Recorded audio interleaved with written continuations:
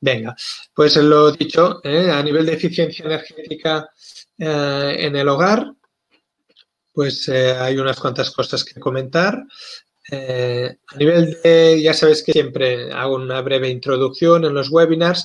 el pasado webinar establecí esta diapositiva, ¿no? Como un plan de trabajo, medidas, ¿no? Pues actividades que vamos desarrollando o posibles, ¿no? Cuestiones que podemos ir trabajando con familias vulnerables, siempre en el aspecto energético, ¿no? Y hoy nos tocaría lo que corresponde a la eficiencia energética. Al final todo es complementario, ¿no? Pero sí que es verdad que, eh, retomando un poco el tema de eficiencia energética, cuando ocurrió la crisis del 2008, ¿no? Pues ya lo expliqué en el pasado webinar de auditorías, ¿no? El recurso que teníamos disponible cuando no había ingresos ¿no? y estábamos en crisis, pues era ahorrar todo aquello que no era necesario, ¿no? Entonces, gracias a la auditoría energética, era una energética, una herramienta para detectar, pues precisamente eso, ¿no? ¿Qué, qué es lo que podíamos ahorrar? Bien. Entonces, en ese sentido, pues eh, cuando hacemos un plan de trabajo, Considero que, y a nivel municipal, por ejemplo, eh, y cuando no hay ingresos, pues lo primero es, oye, atacar donde eh, las medidas que no nos cuesten dinero, ¿no? Pues lo suyo han sido, pues, optimización de facturas, ¿eh? bueno, sí que es necesario que esté una persona ahí, ¿no? haciendo esa gestión, bien, pero todo lo que son optimización de facturas y eh, los hábitos de consumo con buenas prácticas de coste cero, pues eso es, lo primero que hay que aplicar ¿no? a nivel municipal o tanto como de una entidad o en este caso, bueno, pues para las familias vulnerables. Bien. Eh, luego, pues, ¿qué ocurre? Que gracias a, esa, a optimizar facturas ¿no? y aplicar los buenos hábitos, reducimos el consumo y el coste energético. Entonces, en, en municipios o en entidades, lo suyo es hacer un plan y, decir, oye, pues con estos ahorros que voy a conseguir, ¿no? Pues a lo largo de unos meses un año, el tiempo que sea, pues eh, cuando lo valide, ¿no? Pues oye, he reducido tanto, pues yo me, em, pues digamos, dentro del plan de trabajo, pues em, pongo eh, pues que estos ahorros los voy a destinar, los voy a dedicar a invertir en mejoras de eficiencia energética, ¿no? Voy a revertir todo ese ahorro. Es un poco pues la línea a, seguir. De cara a las familias vulnerables, quizá no es posible hacer eso, ¿no? Porque el ahorro que van a conseguir les va a repercutir al final en que puedan pagar la factura o minorizar lo que es la, deuda, ¿no? ¿Vale? Ese sería el, el objetivo. Y bueno, hoy hablamos de eficiencia energética. Claro, al hablar de eficiencia energética están, hay varios aspectos. Uno es el de hábitos de consumo, que ya tratamos. Otro es el de invertir en equipamiento en las instalaciones del edificio. Y otra es, pues, en lo que sería el próximo webinar, ¿no? De cara a la rehabilitación energética, ¿no? Pues eh, Mejoramos la eficiencia energética del edificio, sí, está bien aislado ¿no? y tiene una buena eh, envolviente. Muy bien. Pues nada, me dejo ya de, introducción. Eh, tema normativas. Muy brevemente para que sepáis que exista, ¿eh? no, no lo voy a leer tampoco, pero sí que hubo en su momento una directiva europea que a la vez enlazaba el tema de, las auditorías energéticas que ya comentamos la semana pasada.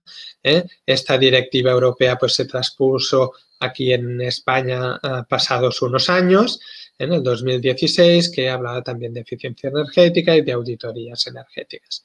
simplemente, ¿eh? siempre voy a las fuentes de directivas europeas, luego se trasladan a nivel nacional y bueno, hay otro reglamento que es lo que afecta a nivel europeo, pues todo lo que es el etiquetado energético.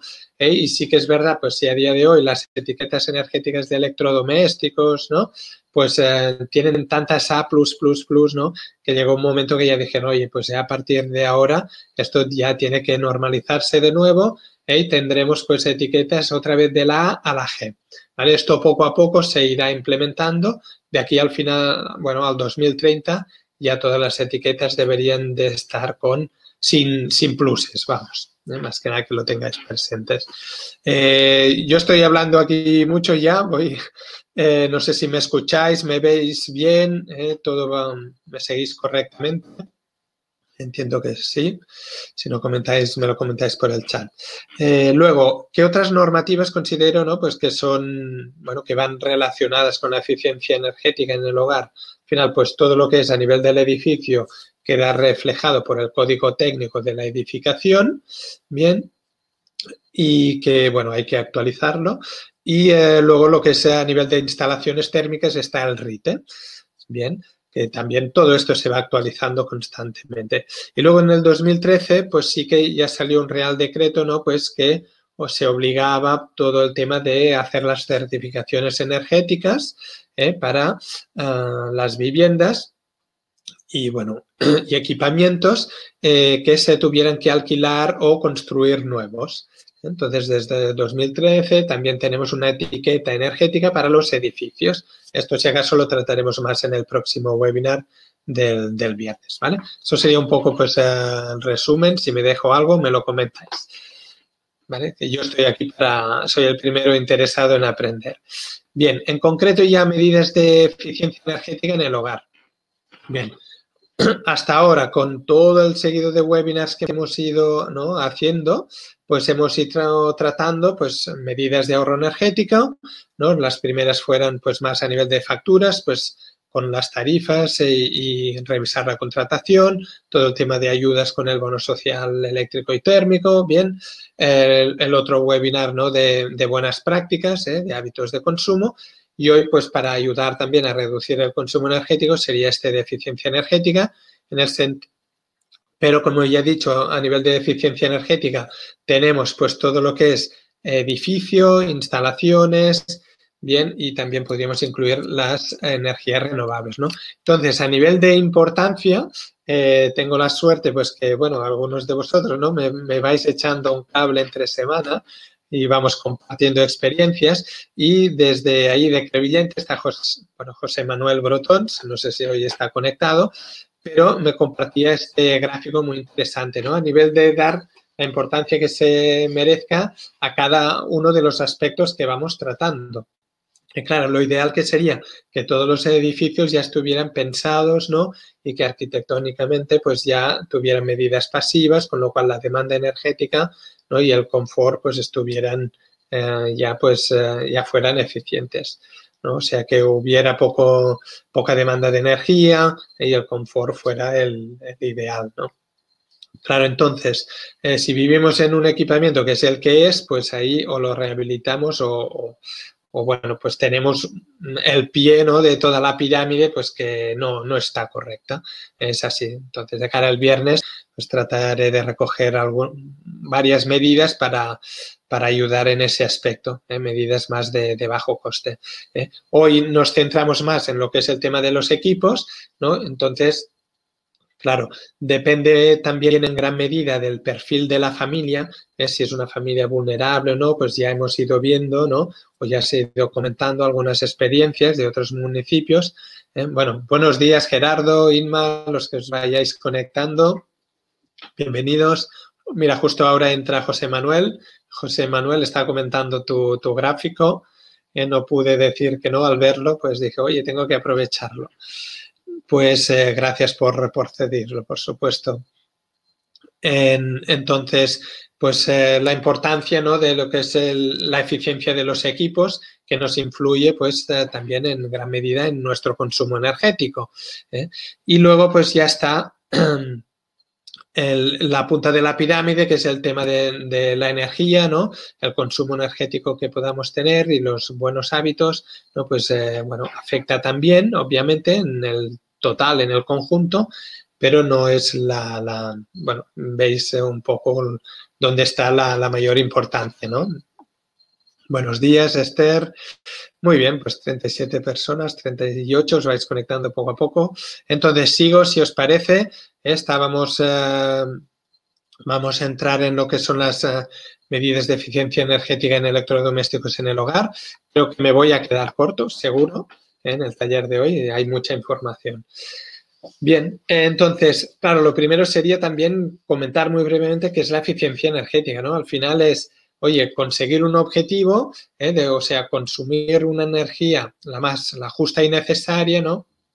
¿Vale? Pero manteniendo unas condiciones óptimas en el hogar, ¿no? Sería, eh, creo que sería esta la, definición, ¿no? Se puede aplicar a muchos aspectos, pero a nivel energético es este, ¿no? O sea, consumir lo que necesitamos, ¿eh? pero con y manteniendo el confort, ¿no? Pero que realmente el consumo sea del justo y necesario, ¿no? Eh, entonces, a nivel de medidas, eh, para la eficiencia energética, claro, unas son los hábitos de consumo que ya hemos ido tratando. Hoy intentaré no comentarlo, no repetirme. Y eh, entonces, claro, cuando vamos a un hogar, hacemos una auditoría energética, detectamos ¿no? ineficiencias, que los aparatos, por un lado, no funcionan bien o por otro son antiguos, ¿no? Y la manera como funcionan, pues no, no, es, no es correcto. Entonces, tendríamos que invertir ¿no? Y comprar un, electrodoméstico nuevo o el aparato nuevo, con lo cual no siempre es posible Bien, entonces a nivel del hogar, claro, me voy a centrar más en lo que he dicho, ¿eh? electrodomésticos, iluminación, la climatización, ¿no? el agua caliente, la cocina, ¿eh? pero aparte quedará lo que es el, la camisa ¿no? del, del edificio, el envolvente, y también sería complementario todo el tema de energías renovables, que si os interesa, pues yo os propongo otro taller para más adelante, ir complementando todo lo que vamos comentando. Bien, eh, a nivel de etiquetas energéticas, muy rápidamente, claro, cada electrodoméstico nos vamos a encontrar que tiene su, etiqueta, ¿no? Por ejemplo, tengo aquí la del lavavajillas, ¿eh? y eh, sabéis que cada electrodoméstico tiene una configuración un poco distinta. Eh, pero básicamente nos indican, pues, oye, pues el total de energía, pues, y según la A, la B, la C, ¿no? Y los pluses, pues, tendrá menos kilovatios hora o más, dependerá. Entonces, aquí en este gráfico se ve un poco la idea que, oye, cuando la, todo, la A va comparada según, ¿no? Pues la letra E. ¿no? O todas las letras se comparan con la E. Respecto a esa letra, ¿no? Pues eh, digamos que vamos eh, ahorrando un tanto por cien. ¿eh? Entonces, un poco cómo funciona la etiqueta energética. Bueno, entonces, claro, según el electrodoméstico hay más o menos tanto por cien. Yo os pongo este aquí como un ejemplo genérico. Bien, entonces, vuelvo antes de empezar a ello, eh, que es importante, ¿no? Para mí, pues, eh, si hemos hecho una auditoría energética o hemos podido lograr conseguir, ¿no? Detectar de qué depende todo el consumo energético en el hogar, ¿no? Pues hacer lo que ya os expliqué del mapa energético, ¿bien? Y entonces, eh, bueno, pues gracias a esto podemos atacar y mejorar, ¿no? Y ser más eficientes también de cara a mejorar el consumo energético en el hogar. Fijaros otra vez, ¿eh? o sea, este es mi caso concreto. En casa, pues tengo calefacción, como ya sabéis, a gas y el agua caliente ACS, pues a gas también, ¿no? Y entre todos consumimos unos 6.000 kilovatios hora. Es un consumo un promedio ¿eh? que no es ni, ni el más eh, elevado ni el más bajo, ¿vale? Pero es algo eh, de un perfil medio de familiar. Y a nivel eléctrico, ya sabéis, los 2.500 kilovatios hora para todos los electrodomésticos, aire acondicionado, iluminación, cocina, tal. Bueno, muy bien. Y aquí tenemos unos 8.500 kilovatios hora. Bien, entonces muy importante, como podéis imaginar, que claro, que la caldera y lo que es el agua caliente, pues funcionen pues óptimamente en un rendimiento pues eficiente. Entonces trataré de empezar por ahí. También os he ido comentando que, claro, cada familia pues detectamos su consumo energético, bien, tantos kilovatios hora, y desde la Fundación Naturgy pues se van haciendo los informes de eficiencia energética en los hogares ¿eh? para perfil medios ¿eh? de, de, familia, o sea, entrará todos los casos, ¿no? Y detectaron en global, pues oye, un casi un 25%, ¿no? Más de un 25% de potencial de ahorro. Claro, aquí contemplan tanto medidas de eficiencia energética como también algunas pautas de buenos hábitos, ¿no? Entonces, entre una cosa y la otra, pues hay una bueno, podemos conseguir un buen ahorro energético. Aquí el desglose yo lo tenía focalizado, bueno, en Cataluña, pero es muy parecido en el resto de, España. Cada comunidad varía un poco el porcentaje, ¿eh? pero eh, a nivel de equipamientos es quizá donde se puede hacer conseguir un mayor eh, ahorro.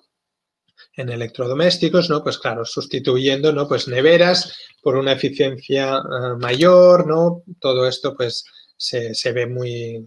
ha mejorado mucho con el tiempo, con lo cual hay un gran cambio. Eh, luego, a nivel de calefacción, iluminación, bueno, como podéis ver, ¿vale? O sea, a nivel de según los datos, ¿no? En este caso de Fundación Naturgy, de este estudio, pues hay un gran potencial de, ahorro. Y claro, lo que siempre voy incidiendo, claro, no todas las familias vulnerables pueden conseguirlo. ¿eh? Entonces, por eso el webinar de buenos hábitos, para al menos lograr que, oye, si no podían conseguir un 25, un 27% de ahorro, que consiguieran un 10% de ahorro gracias a los buenos hábitos. ¿eh? Eso creo que sí que eh, era posible un 10, un 15, hasta un 20 en algún caso, ¿vale? Pero bueno, todo en su justa medida.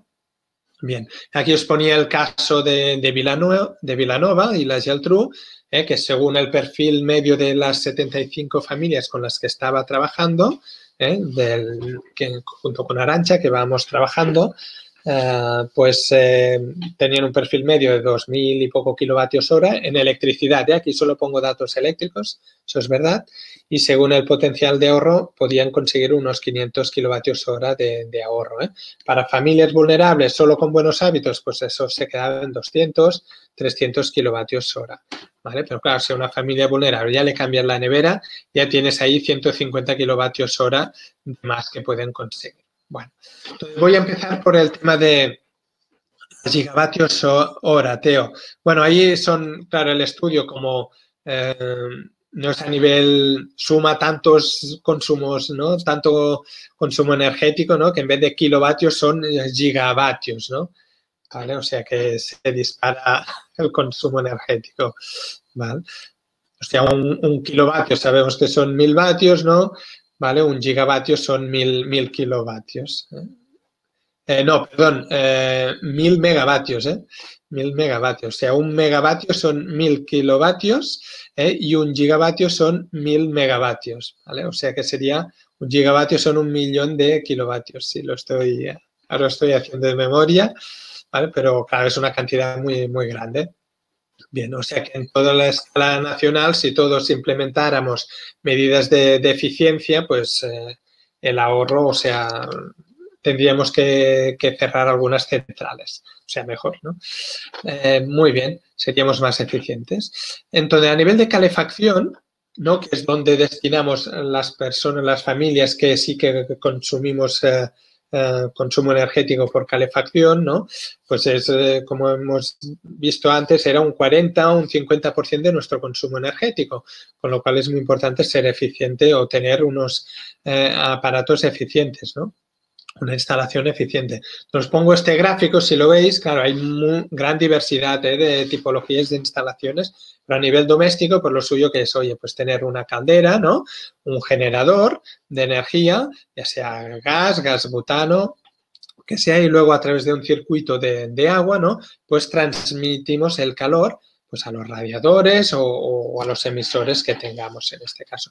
Entonces, claro, aquí es importante que para que funcione, sea eficiente la instalación, pues que el generador funcione a su máximo rendimiento, ¿eh? la distribución también funcione al máximo rendimiento, los emisores. Entonces ahí, claro, cuando se hace una instalación, tiene que estar calculada y pensada según el dimensionamiento pues, adecuado, ¿no? Hace unos días me mandabais una compañera vuestra, ahora no recuerdo el nombre, pues en el caso de que querían, pues decía, oye, en mi casa, pues eh, pienso que no calienta bien, ¿no? ¿no? No lo suficiente. Pues claro, puedo instalar, ampliar los radiadores y tal. Claro, hay que ver pues qué potencia tiene la caldera, si está a qué temperatura funciona, funciona todo va ligado. ¿eh? Al final, el sistema en sí, para que funcione todo a máximo rendimiento, tiene que estar ¿no? bien, bien engranado todo. Bien. Eh, nada, una pincelada. ¿Qué ocurre con la caldera? Pues eh, a gas, ¿no? Pues quemamos, ¿no? Producimos energía gracias a, a, quemar, ¿no? Pues un combustible, muy bien. Que gracias al oxígeno producimos combustión y producimos una, energía y luego unos restos, ¿no? Pues que contaminantes, ¿vale?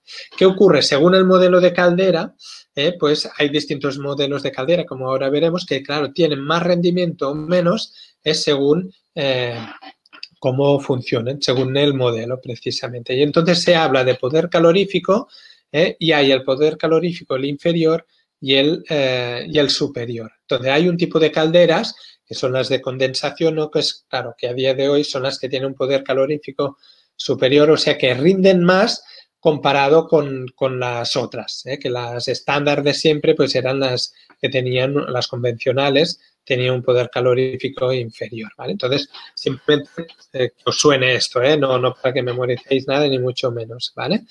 Y bueno, aquí dependiendo también del combustible, ¿no? De si es gas, si es propano, butano, etcétera, pues el, cada material, ¿no? Cada combustible tiene un, eh, más energía o menos, lo que sería más poder calorífico, eh, ¿vale? Entonces, bueno, hay unas tablas y cada material tiene sus características, ¿vale?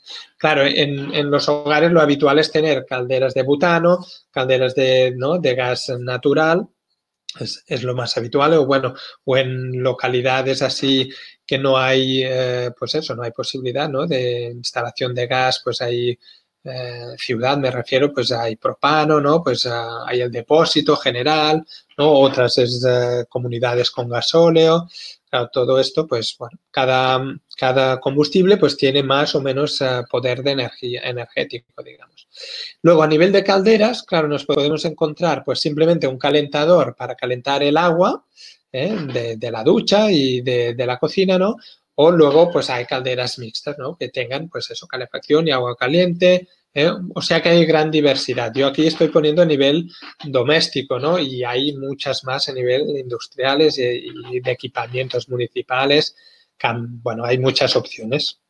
Bueno, eh, entonces lo que os comentaba básicamente, ¿no? Claro, muchos de los hogares vulnerables seguramente tendrán una caldera y dependerá también, ¿no? De la zona climática en la que os encontréis. Por Andalucía, pues quizá pues no, bueno, no sé cuántos tendréis eh, agua, o sea, una caldera para calefacción. Eh, no, no, no creo que sea tanto como, como, aquí, pues en Cataluña o en, o en Galicia o en otras zonas, ¿no?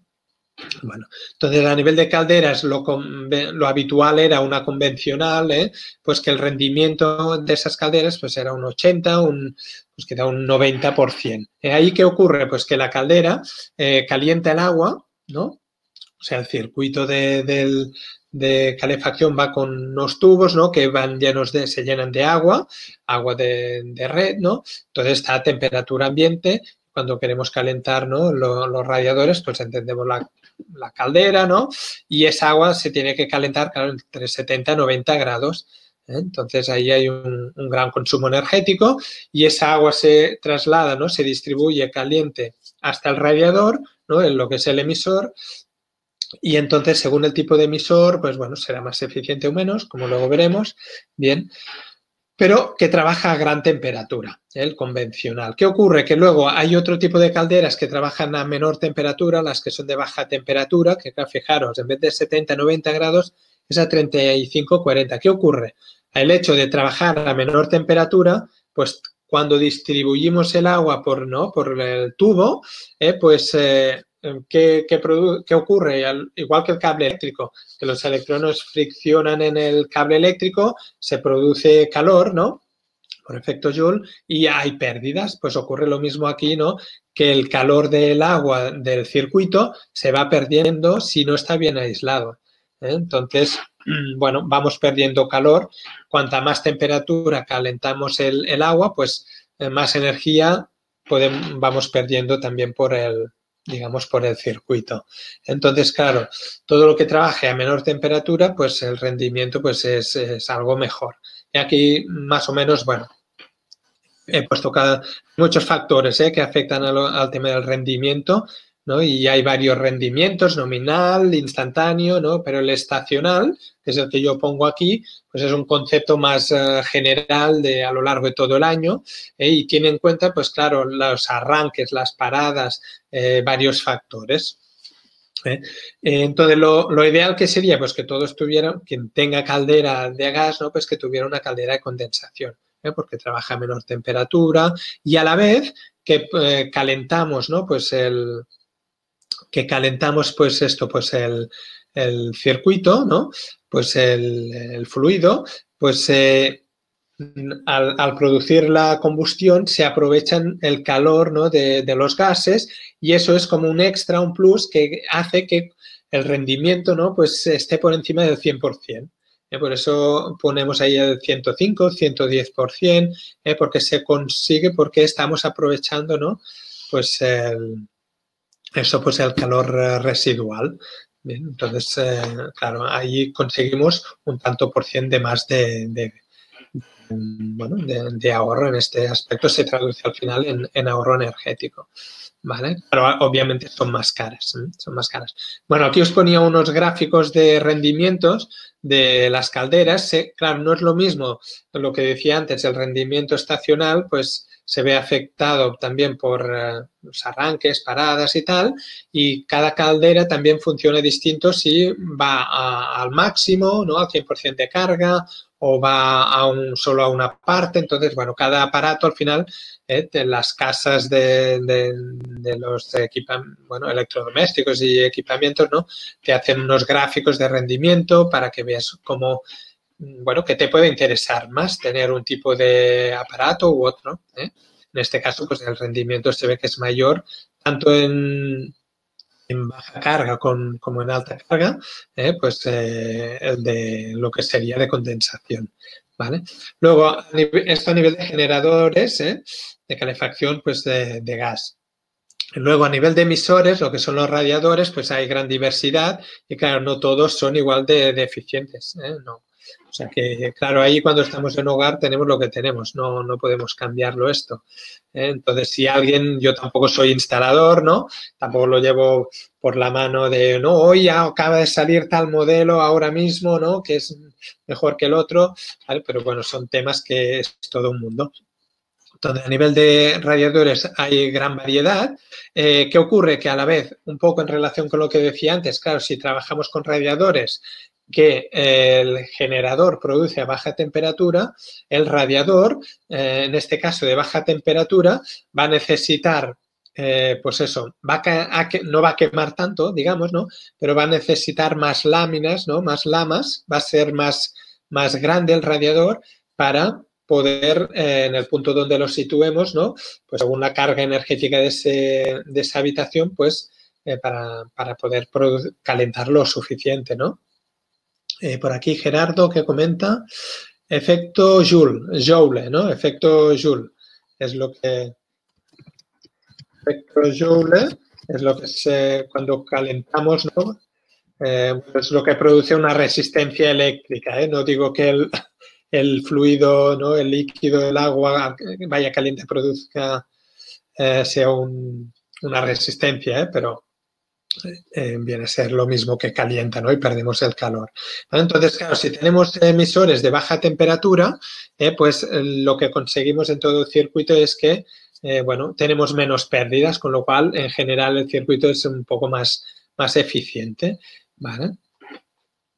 Bueno, no me extiendo mucho porque, entonces, eh, bueno, ah, sabéis que existe lo que se llama la termografía, ¿eh? hay unas cámaras termográficas, ¿no? Que van muy bien, pues, para valorar, ¿no? Si hay puntos de, de, de ahí, de lo que, ya sean cuadros eléctricos, las instalaciones eh, eléctricas, ¿no? O las redes de transporte eléctrica. Bueno, en el caso, en los hogares, en los radiadores, en todo se puede aplicar la termografía, ¿no? Es un arte, ¿no? Hay que saber aplicarlo. Eh, y bueno, ahí detectamos un poco cómo se reparte, ¿no? Cuáles son los puntos más calientes, cómo se reparte, con lo cual el, calor, ¿no? Claro, estamos hablando sobre todo de tema de rendimiento y eficiencia, de qué consume menos energía, por ejemplo, pero claro, también es importante el aspecto de eh, cómo se reparte el calor, que sea más agradable, ¿no? más confortable. Eso también es, es importante. ¿no? Luego veremos, eh, bueno, que os ponía un par de ejemplos, eh, que el convector, ¿no? que saca aire, es un radiador que saca aire, digamos, ¿no? Pues el, calor va directo para arriba. Con el radiador así más habitual, ¿no? Pues queda empieza a emitir el calor ya por, por el lateral también, ¿eh? por, radiación, y, el aire, bueno, termina subiendo para arriba, el aire caliente. Pero a ver si lo tengo, luego, luego veréis un gráfico que compara, ¿eh? que es más confortable para el cuerpo humano, ¿no? Luego está esto, el, el termoconvector, ¿no? Que es, eh, bueno, pues que es, es eficiente, eh, pero Mm, quizá, claro, a mí, por ejemplo, que genere una corriente de aire, pues para mí no es agradable, ¿no? Y aquí, bueno, ponía un poco los pros y contras, ¿eh? que, bueno, consume poco contenido de agua, el circuito, ¿eh? trabaja también a baja temperatura, o sea que está, en cierto modo, está bien, ¿eh? Pero luego que genera ¿no? una, una, corriente de aire y mueve ¿no? partículas en suspensión que, bueno, pues para mí no, personalmente no es tan agradable. Otros emisores que hay, pues claro, todo lo que sean estufas, radiadores eléctricos, ¿qué ocurre? Ocurre el rendimiento, eh, o sea, allí produce el calor por efecto Joule, ¿no? Como decíamos, el rendimiento es el 100%, porque la energía que consume realmente la está transmitiendo, ¿no? ¿Qué ocurre? Que necesita, mm, bueno, pues eh, consumir mucha energía, ¿no? Muchos kilovatios, eh, ¿no? Tienen los radiadores, con lo cual eso se traduce en muchos kilovatios hora y al final la energía eléctrica es más cara también pues que lo que es el, gas. O sea, al final es, oye, tener la instalación, tiene la que tienes, donde estás viviendo y aprovecharla al máximo, ¿no? Pero si alguien tiene que plantearse un cambio de instalación, entonces ahí sí que es importante valorar eh, muchos, muchos, bueno, varias, eh, bueno, hablar con un profesional, ¿no? Y, o varios, ¿eh? de hecho varios, ¿no? Y a ver qué recomendaciones te hacen según tu zona climática, según la, la tipología de, casa. ¿eh? Y ahora veremos algunos datos importantes a, tener en cuenta siempre. ¿vale? Luego os pongo aquí, por ejemplo, pues eh, eso, ¿no? Pues el suelo radiante. Claro, suelos radiantes, que también es un mundo esto, y hay varias tipologías. Claro, hay Existen los que son como un radiador eléctrico que la malla que se pone debajo del suelo es, es una resistencia, o es eléctrico. Eso es un suelo radiante así, ¿qué ocurre? Pues que em, al final en electricidad te sale carísimo. ¿eh? Necesitarás mucha potencia, luego necesitarás 10 kilovatios, 15 kilovatios. ¿eh? Ahí es una malla que va por metro cuadrado, ¿no? Y no sé, igual son 100 eh, vatios por cada metro cuadrado. ¿no? 100, 100 metros pues ya son, pues eh, eso, ¿no? Pues serían 10 kilovatios. ¿eh? Entonces, claro, ahí necesitas contratar una potencia muy elevada, o sea que si alguien tiene que hacer algo nuevo, que se lo piense, ¿vale? ¿Qué comentáis por aquí? Gerardo, yo pierdo mucho calor en el suelo porque atravieso todo el piso. Em, Gerardo, pero que, claro, ahí depende es si vives en una casa, es un piso estás en unos bajos, en un ático, estás entre medio, si estás entre medio es lo ideal, ¿no? Y todo eso lo que se tiene en cuenta, eh, bueno, tiene en cuenta los cálculos cuando hacemos una certificación energética. Eh, Carmen, por aquí, casi no llego, mañana de viernes por aquí. bueno, eh, bienvenida, Carmen. Bueno, lo que iba, ahora estamos 43 personas conectadas, muy bien. Bueno, y estáis aguantando el tirón, ¿eh? Muy bien. Eh, a ver, que no me pierda por aquí. Bien, seguimos. ¿eh? Es un piso bajo, dice Gerardo. Claro, piensa que el calor eh, va para arriba. Tú tienes, Gerardo, ¿tienes suelo radiante o son radiadores? Yo, por ejemplo, estoy en unos bajos, ¿no? Pero tengo un garaje debajo que me hace un poco de, colchón, ¿no? Entonces, bueno, hay que ver cada caso, Pero ciertamente, claro, no es lo mismo que estar entre medio de dos pisos, Entonces se nota, se nota un algo se nota, sí. a nivel del suelo radiante, simplemente quería eh, comentaros que existe el eléctrico, ¿eh? en donde en según qué zonas o para el instalador igual le era más, en según qué época, pues eh, hace unos años era más práctico igual instalar eléctrico, ¿no? pero hoy en día, pues ya de hace años también, pues se puede instalar con tubos, ¿no? Que circula al final un circuito de fluido con, con agua. ¿Eh? agua que se calienta y entonces eso pues consume mucha menos eh, energía eléctrica, mucho menos, eh, mucho menos. aquí por aquí un duplex, radiadores eléctricos, una ruina total, Amparo. Pues seguro, seguro, sí, sí. es una lástima y pues es. ¿Qué, ¿Qué, vas a hacer? Pues, bueno, buscar ahí radiadores eléctricos, pues si en algún momento te planteas, ¿no? Pues invertir, pues lo suyo mejorarlo primero, siempre que tenemos que tratar el tema calefacción, eh, si hay presupuesto, lo suyo primero es el, aislamiento. Ese sería pues lo, eh, el primer punto. Vale, lo que os comentaba, que según el sistema que tenemos de calefacción, ¿no? La emisión del, calor, ¿eh? pues puede ser más adecuado o menos para, para, el cuerpo. Entonces, lo que sienta mejor, según los estudios, pues es que sea lo más ah, ¿no? repartido, lo más de nada, Amparo. Lo que sea más, eh, ahora no me sale la palabra, eh, bueno, que sea como más eh, bien repartido, homogéneo, ¿no? entonces, lo que es el suelo radiante, claro, el calor se emite del suelo, sube para arriba, ¿no? Y es como más una sensación más confortable para, el cuerpo, ¿vale? luego, pues bueno, aquí vemos un poco, claro, lo que son convectores, por ejemplo, que emiten chorro de aire a calor, ¿no? Por ejemplo, si tenemos una bomba de calor, ¿no? Pues eh, desde el techo emite el chorro de aire caliente, claro, el aire caliente sube para arriba, entonces va circulando aire, no termina de estar el ambiente lo suficientemente bien en la altura en que nos encontramos nosotros, ¿no? Por ejemplo, si estamos sentados en un escritorio ahí en la silla, claro, los pies estarán fríos y la cabeza igual estará caliente, pues eso al final nos produce calor de dolor de cabeza, sea, todo esto hay estudios. Yo no soy experto, ¿no? Pero bueno, al final ya es cada cual como se sienta, ¿no? Mejor y bueno, son aspectos a tener en cuenta. Em, exacto, lo que dice José Manuel Brotón, ¿eh? el aislamiento y evitar el mínimo máximo o evitar las pérdidas. Vale. Bueno, a nivel de calefacción, entonces también según cada emisor, según la, el generador, etcétera, pues tienen, todo tiene sus eh, etiquetas en sus etiquetas. Eh, ahora que digo esto, por ejemplo, a radiadores eléctricos, ¿no? Hay algunos que les ponen ahí una etiqueta, emisores, eh, calor azul o algo así, ¿no? Eh, todo eso al final es eléctrico, tiene una potencia muy elevada y va a consumir mucha energía.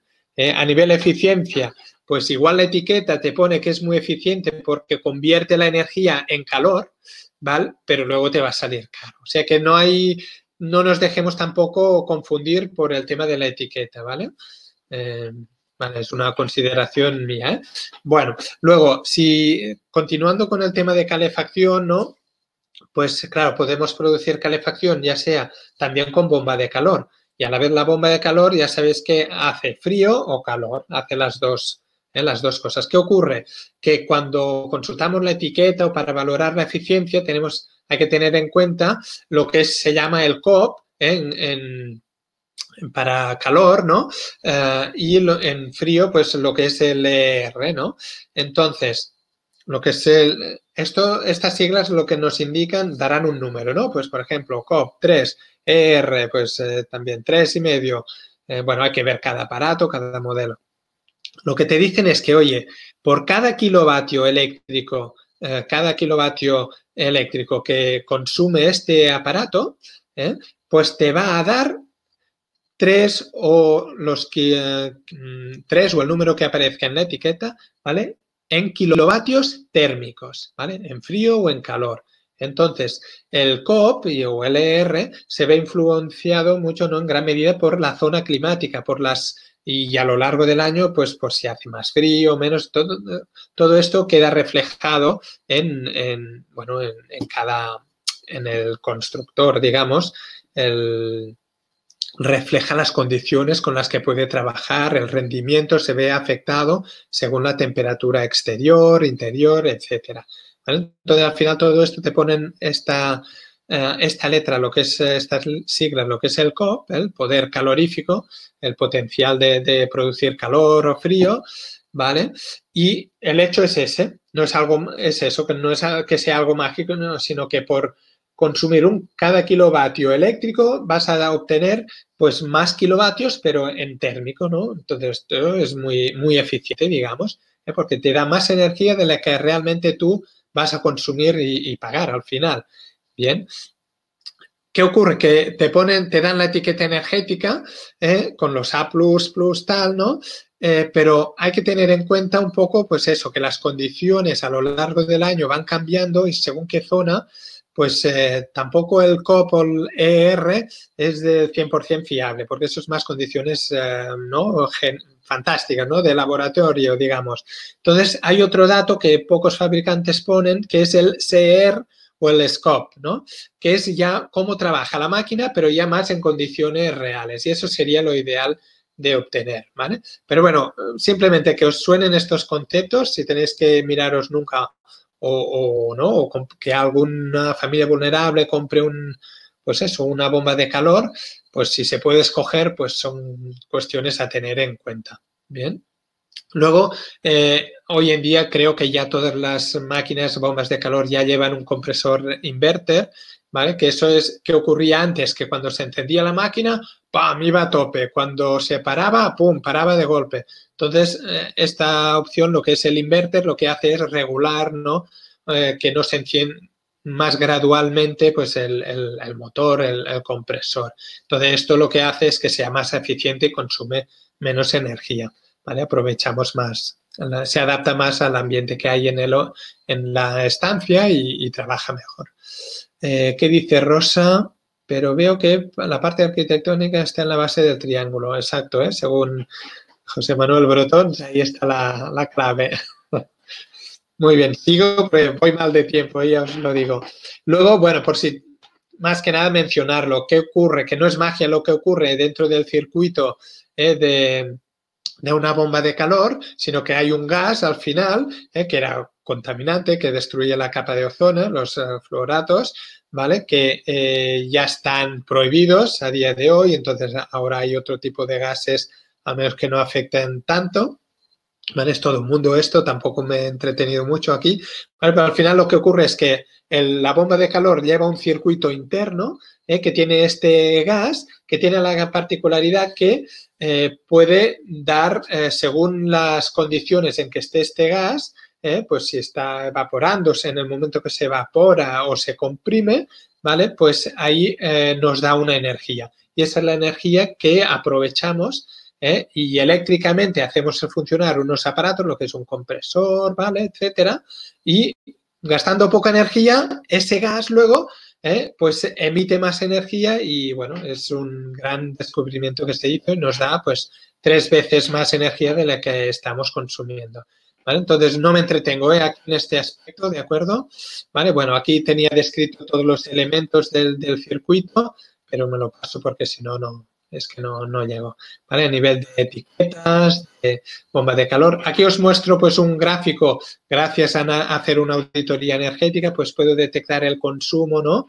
En todo momento de, en este caso, de una bomba de calor, ¿no? Y cómo va funcionando pues oye, arranca, tiene un pequeño pico, luego va modulando ¿eh? una parte intermedia, luego cuando ya consigue la temperatura en el ambiente, la temperatura consigue, se reduce un poco, ¿no?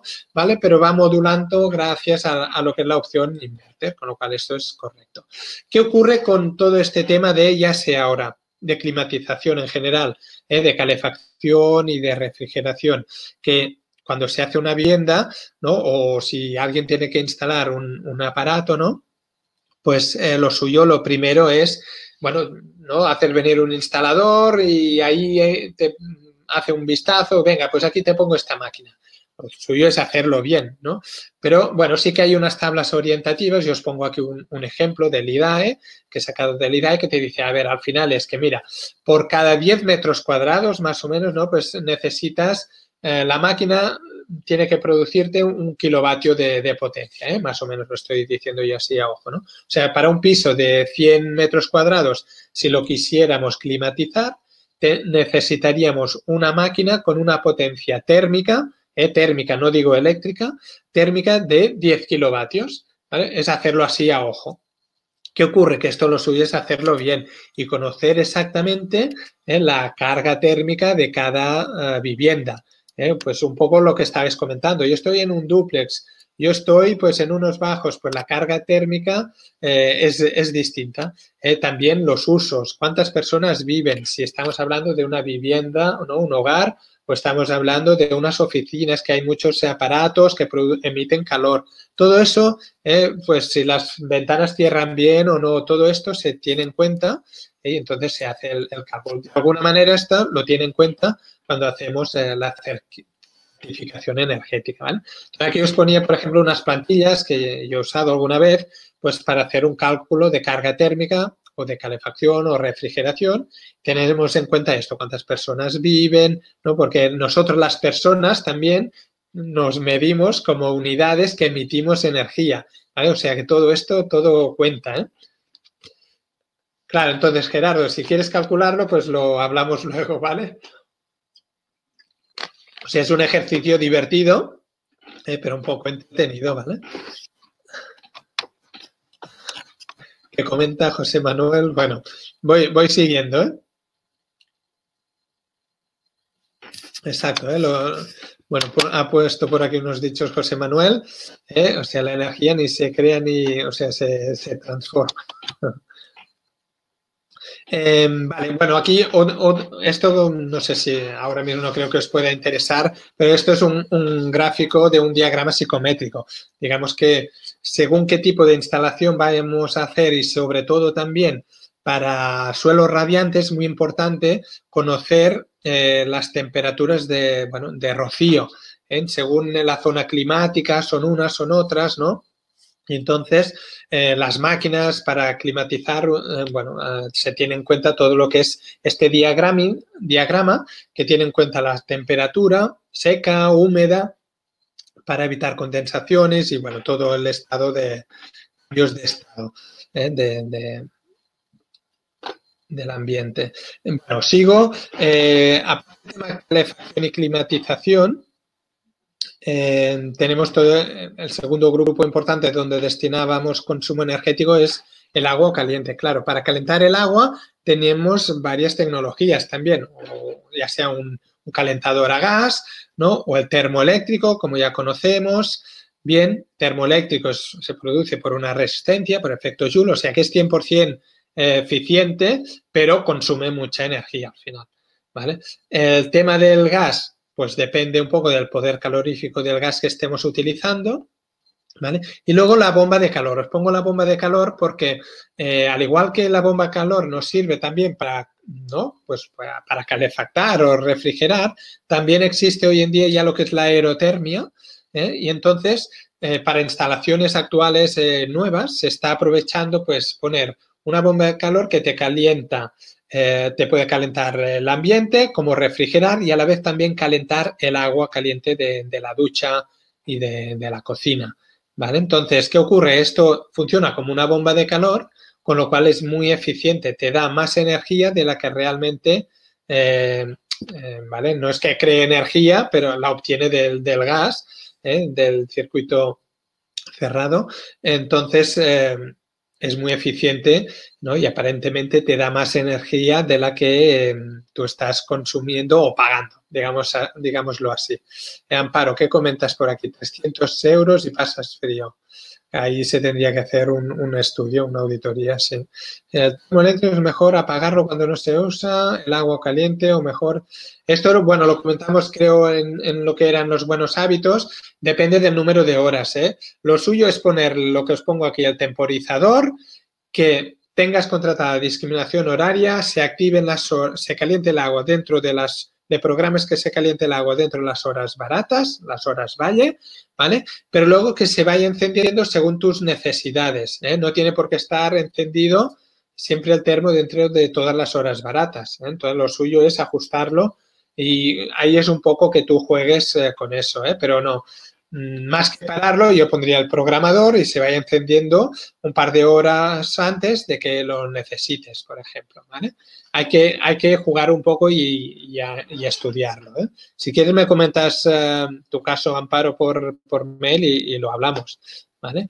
Bueno, tengáis en cuenta que de todos estos sistemas, digamos que el más eficiente hoy en día pues es el de aerotermia, pues claro, eh, a nivel de agua caliente, pues sale más a cuenta, ¿vale? Bueno, temas de, etiquetas energéticas hay muchas por la gran variedad de equipos que hay. También, a ver si puedo prepararlo para, el, bueno, si hacemos un webinar dedicado a energía solar, claro, eh, influye mucho el equipo, el calentador, el tipo de, generador de energía que tú tienes en agua, con qué se combina mejor con según qué energías renovables. ¿eh? Los usuarios, comenta Carmen, que nosotros trabajamos no tienen un poder adquisitivo exacto, claro. La mayoría viven en pisos del programa que el programa les busca, son viviendas precarias. Ah. No, no, claro. eh, estoy conforme. A nivel de iluminación, ya también esto lo vimos eh, un poco en el webinar de Buenos Hábitos, ya sabéis, aprovechar al máximo la luz natural, ¿no? Pero a nivel de tecnologías, ya vimos que han ido surgiendo varias. claro, digamos que a nivel del hogar la más eficiente son los LEDs, sin lugar a dudas. pero luego si, por ejemplo, nos fijamos en el, en, bueno, en iluminación exterior, eh, siguen habiendo otras tecnologías ya más eh, antiguas ¿no? y contaminantes, son el vapor de sodio, lámparas eh, de vapor de sodio y de mercurio, que es, digamos que la eficiencia pues también es un poquitín superior al LED, ¿vale? Bueno, también es verdad que LED va mejorando, con lo cual igual ahora ya, ya, ya está por encima. ¿eh? ¿Vale? No me extiendo mucho, ¿eh? pero sabéis que siempre que entregamos los kits de eficiencia energética incluimos ¿no? bombillas. Ya hice un cálculo que solo sustituyendo dos o cuatro bombillas en un hogar, ¿eh? ¿no? las bombillas de mayor uso, pues poniendo las LED, pues ya se consigue una gran rebaja en kilovatios hora. O sea que ahí se nota mucho. Bueno, aquí os pongo un ranking de la eficiencia ¿no? del, de según la tecnología, LED está en tercer lugar, ¿vale? Pero en el hogar el LED es el que utilizamos y al final es el, mejor. ¿vale? No, no me extiendo mucho aquí. Aquí os ponía de la guía del IDAE, pues bueno, un poco comparativa de decir, oye, una bombilla de 40 vatios la hemos podido sustituir ¿no? por una de 10 vatios. ¿no? Pues claro, hemos ganado, reducimos potencia, reducimos consumo, ganamos en, eficiencia, siempre hablando de que emitimos la misma cantidad de, luz, o sea, lo que son los lúmenes, ¿vale? Eh, Vicente Tortosa, perdona, igual. Ojalá, ¿no? No, me refiero cuando se han hecho actividades con, eh, ¿no? con entidades, Cruz Roja o ciertos municipios, ¿no? Pues confeccionan un kit de, o cuando se hacen auditorías energéticas, ¿eh? las diputaciones, otras entidades. Yo hablo un poco así en general, perdona, ¿eh? no quiero confundir a nadie. Y entonces dentro, cuando confeccionamos un kit de eficiencia, pues lo básico es poner, oye, ¿no? Pues un, programador horario para el, si tienen un calentador eléctrico, ¿no? Eh, cuatro bombillas, unas regletas, estas cuatro cosas básicas, ¿no? ¿Vale? A nivel de etiquetas de, esto, ¿no? De, iluminación, claro, hay las que te incluyen la bombilla y hay las que te incluyen también lo que es la luminaria, ¿eh? ¿vale? Porque no todas las luminarias en su momento estaban adaptadas, ¿no? Según las tipologías que hay de bombillas, etcétera del kit, eh, bueno, tenía un gráfico que hoy no, no, lo he puesto. Eh, era, pues, eh, oye, para mí lo básico siempre, ¿no? Pues son las bombillas. Pero claro, las bombillas que ese usuario pueda utilizar. Ya lo hablamos en concreto, Teo, si te parece, ¿vale? Pero las bombillas que pueda usar, hay tanta tipología de bombillas, ¿no? Que hay que ver ese hogar realmente cuáles son las que más usa y las que le pueden ir bien, ¿no? Gerardo, soy de Cruz Roja y se les preparan kits a las familias, claro. Entonces, hay bombillas de rosca, hay bombillas de fluorescente, hay de muchos tipos. ¿Vale? Luego el, programador horario, Teo, pues es un termómetro, siempre va bien, ¿eh? para saber la temperatura y humedad, para ver qué nivel de confort tienen en ese hogar, ¿vale? No sé, eh, ahora regletas, eh, luego pues también los, ¿no? Lo que ponemos, las tiras que ponemos los faldones de las puertas, ¿eh? materiales aislantes para radiadores o ventanas, un poco todo esto. Eh, bueno, a nivel de frigoríficos, ¿eh? y hablando de eficiencia energética, lo que os decía, ¿no? Yo me cambié de nevera, pues frigorífico en verano, pues esta, esa plus plus plus consume 173 kilovatios hora al año. Esto es el cálculo teórico, luego se tendrá que ver, ¿no? Pero sí que si lo comparo con una ah, que yo tenía de hace 15 años, que era tipo A, en su momento pues el consumo eran 400 mm, o casi 500 kilovatios hora, o sea que hay una gran diferencia. Si en Cruz Roja o en otra entidad en algún momento se puede invertir ¿no? para cambiar un electrodoméstico, que eso se hace, ¿eh? de vez en cuando se hacen algunas inversiones, ¿no?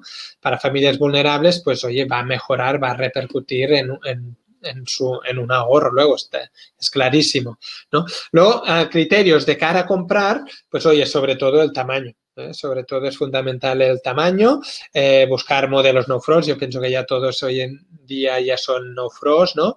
Pero bueno, había un momento que quizá no, no todas, ¿vale? Em, muy bien. Claro, ¿eh? lo comenta José por aquí. Bien.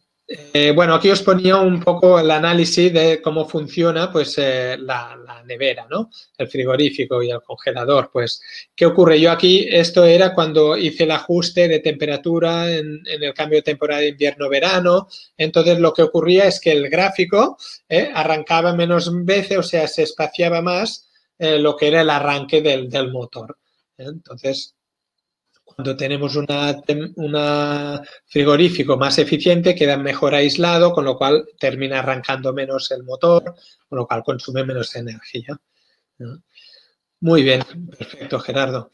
Eh, y José, bueno, eh, muy bien, todos por las aportaciones que vais comentando. Además, son las 12 en punto y todavía no, bueno, ya queda poco, pero si alguien tiene que desconectar, eh, lo entiendo, ¿eh? Y disculpad. A nivel de otros electrodomésticos y hablando de eficiencia, ¿no? Las lavadoras, yo aquí, pues un poco la conclusión era que en el anterior webinar de hábitos, ¿no? Eh, comparaba los programas de lavado, en este caso, teniendo la lavadora que tengas, ¿no? ¿Qué ocurre? Que si aquí hablamos de eficiencia, claro, es más eficiente una, una lavadora actual, ¿no? Que tendrá la A plus o, la letra que corresponda, ¿no? Em, pero si comparamos la A con el programa de lavado agua fría de una lavadora de hace 15 años, sigue siendo mucho más eficiente el seguir lavando en agua fría. Entonces, ese es el punto, ¿no? Que de cara a familias vulnerables, un poco la conclusión es, oye, tema de buenos hábitos es fundamental. ¿Eh? Y ahí está la, la clave y más que, bueno, en el momento se puede invertir en un electrodoméstico, pues quizá el que más vayan a notar pues un cambio es en el frigorífico. Eh, pues eh, bueno, hay que ver, hay que estudiar, hacer la auditoría y detectar cada caso. Muy bien. Bien, pues sigo por aquí, si os parece, pero, ¿vale? Lo que es el programa lavado agua fría consume mucho menos energía que un programa de 30 grados del A+++. ¿eh? Eso, es, eso es así. ¿Vale? Con lo cual las buenas prácticas son fundamentales. Me nos ponía eh, gráficos, ¿no? De que he hecho, he ido haciendo en casa, ¿no? De, bueno, en mi casa, como voy haciendo auditoría en casa y en otras, pues eh, cuál era el gráfico de consumo, ¿no?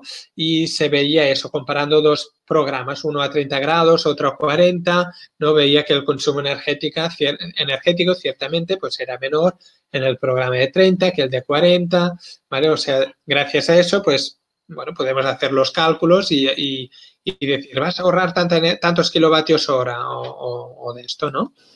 Bien, eh, un poco para evaluar cómo funciona el ciclo de lavado de la lavadora, eh, es un gráfico, este lo he traído de la guía de IDAE, pues bueno, primero lo que hace la lavadora es calentar el agua. Eh, calienta el agua con la resistencia, ¿no?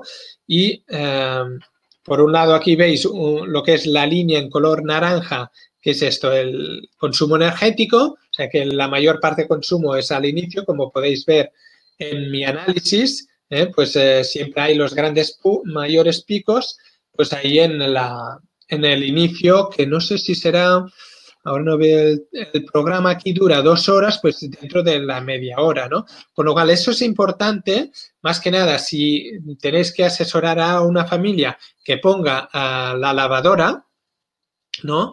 Pues que eh, a nivel de ajustar los picos de potencia en el hogar, pues ya sabéis que la lavadora en un programa ¿no? que caliente el agua, no el de agua fría, pues eh, el mayor pico de consumo de energía es al inicio.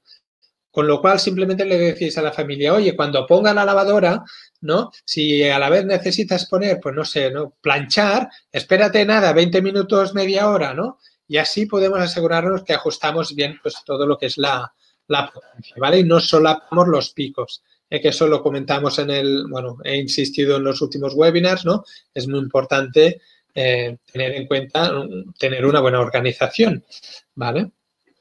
Más por aquí. Eh, Gerardo, ¿qué comenta por aquí? Ojo, en casa descubrimos que entre más revoluciones das, más gasto de energía hay y dinero, ni te cuento. ¿Vale? Por una cosa son, sí, ahí, bueno, ahora vamos a eso. luego, el lavavajillas, pues un poco, ¿qué ocurre? Ahí estos días a mí me ocurrió que se me estropeó el lavavajillas, ¿no? Estuve un poco analizando, pues realmente que sale más a cuenta, lavar a mano, ¿no? O los platos y tal, o el lavavajillas. La clave es, oye, si le sacamos provecho a la capacidad de, no del lavavajillas. Si el lavavajillas lo llenamos, lo aprovechamos, eh, sale más a cuenta que aunque seas muy eficiente lavando a, mano. Eh, y el tiempo que dedicas ya no te cuento, ¿vale?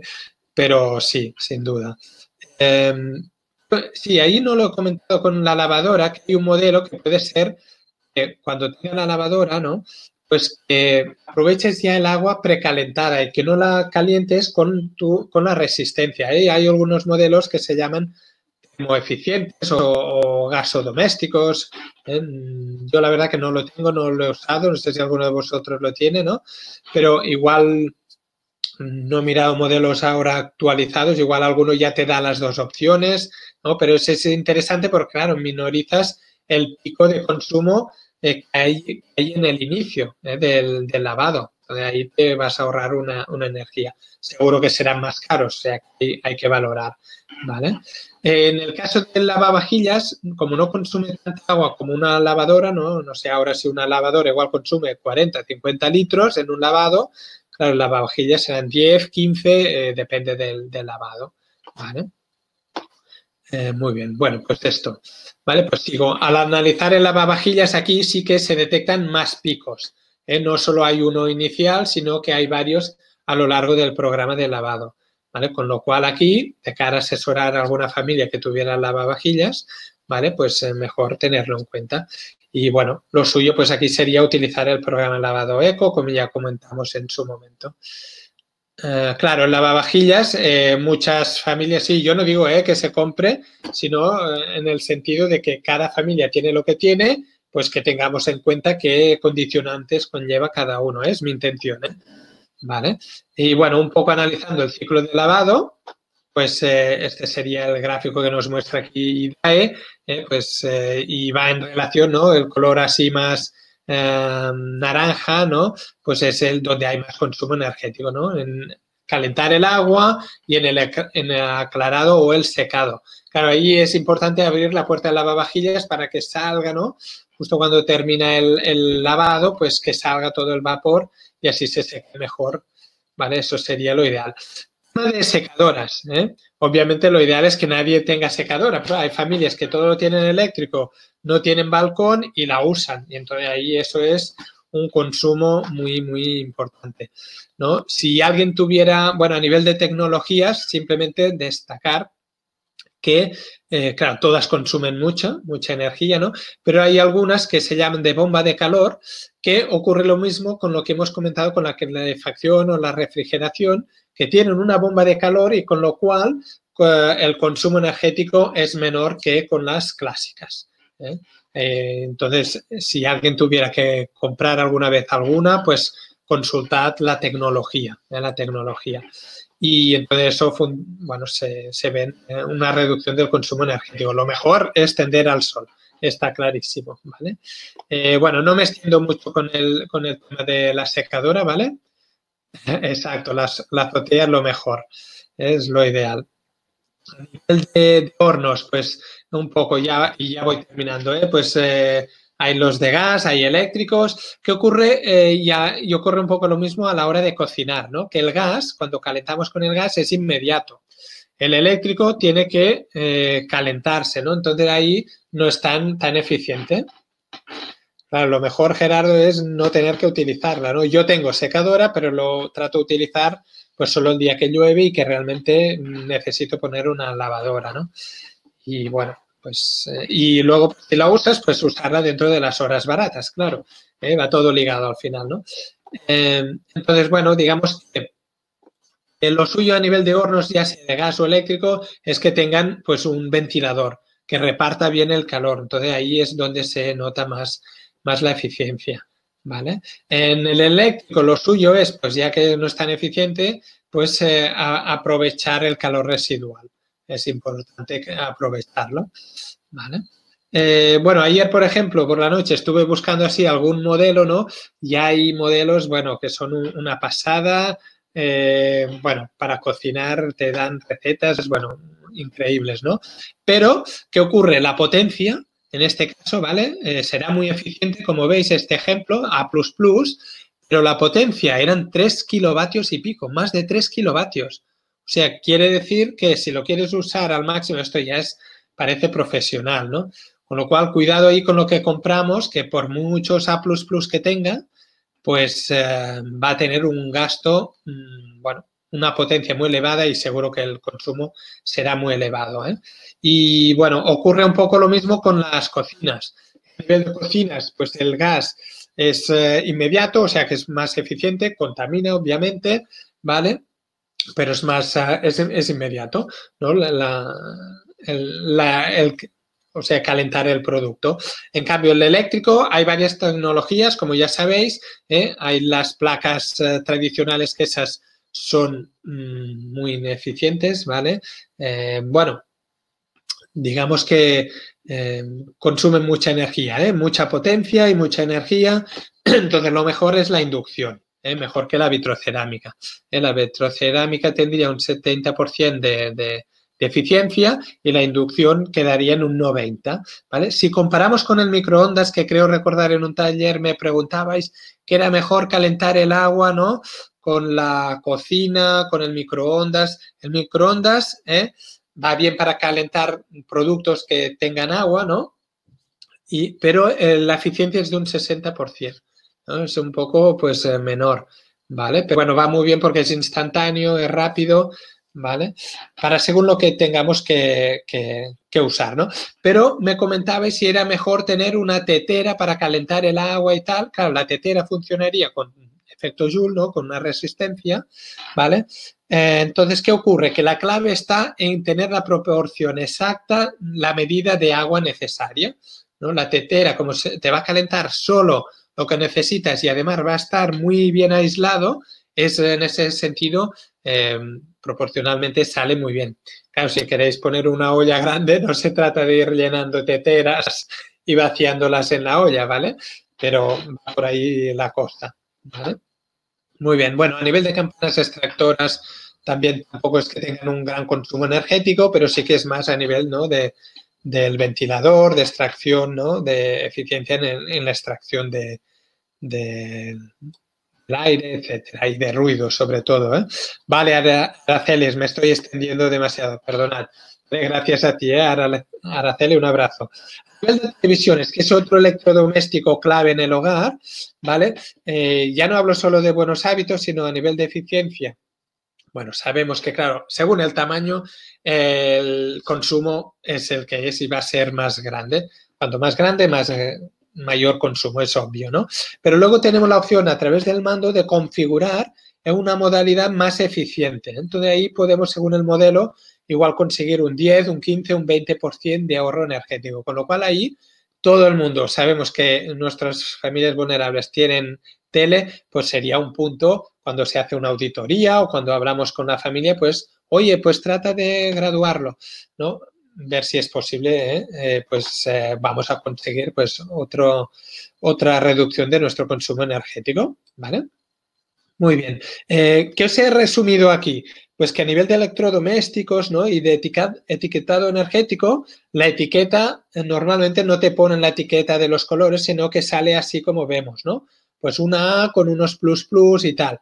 Pero yo ayer estuve, ¿no? Pues eh, dando unas cuantas vueltas y al final conseguí descargar la etiqueta completa que te dan toda la información, ¿no? Pero bueno, no es fácil. ¿eh? Miramos por internet y tampoco no tenemos toda, toda la información así a mano, ¿vale? Eh, bueno, ya llegó al final, solo dos diapositivas más. Simplemente, pues, ¿qué ocurre? Que para los que hacemos certificaciones energéticas, ¿no? Eh, yo hago muy puntualmente, ¿no? Pero hay un apartado en, lo que es el programa que se usa, que es, eh, hay varios programas, ¿no? Y entonces, para valorar la eficiencia energética, digamos, de un hogar, ¿no? Y poner, y al final sacar una etiqueta de la A a la, G, ¿no? Para valorar si consume mucha energía, poca o contamina mucho o no ese hogar, pues eh, usamos un programa, ¿no? Certificado eh, por, el, por el gobierno, digamos, y entonces ahí, para valorar la eficiencia del hogar, se tiene en cuenta dos parámetros básicos. Uno es la que es la envolvente del hogar, que lo veremos en el próximo webinar, ¿no? Y otra lo que todo, mm, bueno, he tratado de resumir, pues eh, a nivel de instalaciones del edificio, eh, ya sea a nivel de iluminación, ¿vale? Y a nivel sobre todo de agua caliente y climatización, o sea, calefacción o refrigeración. ¿no? Entonces, este programa nos da ¿no? Pues esto, unas opciones para ir escogiendo, pues oye, he ido a tal vivienda, necesito sacar una certificación energética, pues eh, me instalo este programa, ¿no? Eh, bueno, Teo, ya son oficiales, son programas oficiales, hay varios, ¿eh? Según la certificación que tengas que, hacer. hay el C3X, yo utilizo el C3X, hay el PERMA, hay varios, porque se van renovando también. Pero bueno, sé que de los que me escucháis hay alguien más, más profesional que yo, un arquitecto por aquí, eh, está José Manuel Brotons, que, lo controla muchísimo más que yo. ¿Vale? Entonces, eh, ya os daré, si queréis, lo hablamos luego José y Teo, ¿vale? Y os digo dónde lo podéis descargar y, y todo. ¿Vale? Es interesante, más que nada porque al final todo va ligado, ¿no? Pero bueno, ya no es un tema que tengáis que utilizar los técnicos de servicios sociales, ni, mucho menos.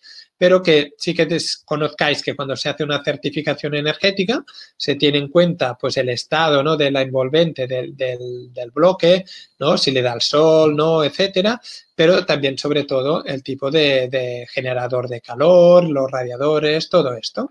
¿vale? Todo esto influye al final ¿eh? en que bueno, tengas más o menos eh, eh, consumo energético. os quería comentar, por si no, os lo, conocéis o no, que a nivel de eficiencia energética y ya más eh, englobado a nivel del, de lo que es el, bueno, el cambio climático, ¿no? A nivel de municipios, a nivel a escala municipal, pues eh, y a nivel de, hay una iniciativa europea que se llama el Pacto de los Alcaldes, el Covenant of Mayors, que eh, a nivel de... es, eh, digamos, eh, que un municipio se puede agregar, ¿no? Se puede inscribir a este programa y te comprometes, digamos, a actuar y tomar unas medidas para mitigar, bueno, reducir las contaminaciones de tu municipio, ¿no? Y entonces hay este programa que hay municipios que, se acogen, ¿no? Y entonces os pongo aquí este mapa que veis unos puntitos en verde, pues que son los municipios que según la zona geográfica pues están inscritos y participan, ¿no? Más que nada os lo comento, ¿eh? Por si a escala local pues eh, lo conocéis o no, pues en este programa eh, a nivel municipal pues se habrán planteado una serie de medidas, ¿no? Igual 20 medidas para reducir la contaminación, ¿no? Los gases de efecto invernadero invernadero, pues eh, vamos a aplicar medidas de concienciación eh, para que la gente coja el transporte público, para, ah, pues eso, vamos a hacer campañas de difusión de medidas de eficiencia energética, buenas prácticas, todo esto al final va ligado, ¿no?